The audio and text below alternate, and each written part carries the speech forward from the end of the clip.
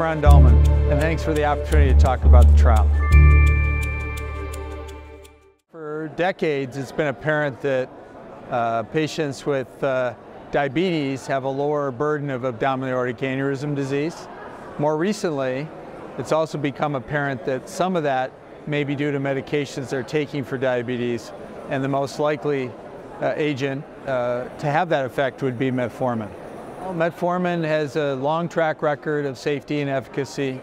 Uh, tens of millions of people take metformin every day. It's available as a generic tablet.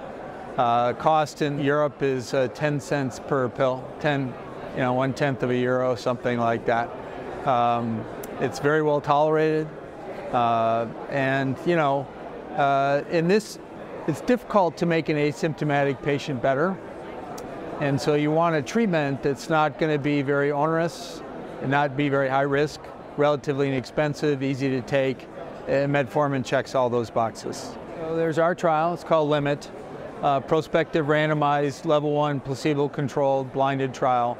Uh, it's sponsored by the National Institutes of Health primarily. Uh, there's also a trial in Sweden which is an open label trial uh, which is now extended to a multinational trial. They're enrolling in uh, the Netherlands and uh, one other country in Europe I think. And the trial in Australia is a little different because there are larger aneurysms. Endpoint is prevention of rupture, surgical repair. So it's a much bigger uh, sample size uh, to get the power necessary. But they're all um, complementary in that they're constructed slightly differently, but they're all looking at the same agent. So ideally, you know, all three, when complete, will provide a more comprehensive picture of potential benefit for metformin in these patients. Now, there's many patients who, you know, might benefit based on their age or other comorbidities by delaying surgery or potentially avoiding surgery, but uh, more uh, kind of effectively, I think, you know, when, when we first meet patients with small aneurysms, often it's an awkward conversation. What do I do? Just wait until next year to get an ultrasound and see. This gives us an opportunity to provide some type of active management option that may change their trajectory of their disease.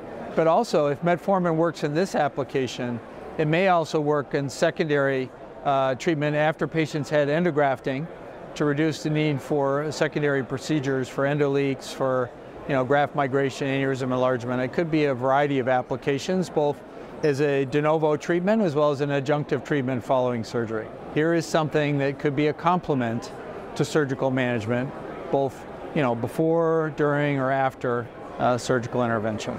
I want to just kind of reinforce the idea that this would be the first uh, medical treatment ever shown to have any efficacy for uh, managing aneurysm disease. And for my colleagues in the United States, you have an opportunity to uh, have your patients potentially enroll in this trial. We're enrolling nationally. And if anyone's interested in, in, in learning more about the trial, uh, just reach out to me. Uh, my email address is rld at stanford.edu.